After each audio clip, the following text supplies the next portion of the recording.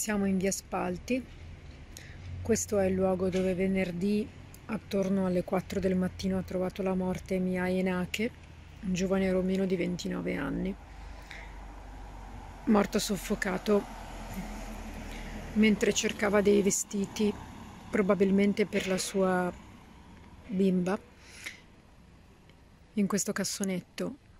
Anche se il cassonetto è già stato cambiato con uno più, più moderno e sembra anche che le leve di sicurezza eh, fossero state tra virgolette in qualche modo manomesse ecco.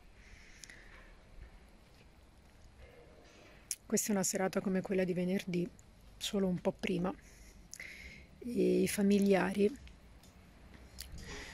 sul marciapiede hanno, sotto quest'albero hanno messo dei lumini per ricordare il giovane papà che lavorava alla Fincantieri. Ecco, qualcuno è venuto anche ad accenderli questa sera e poi ci sono dei fiori.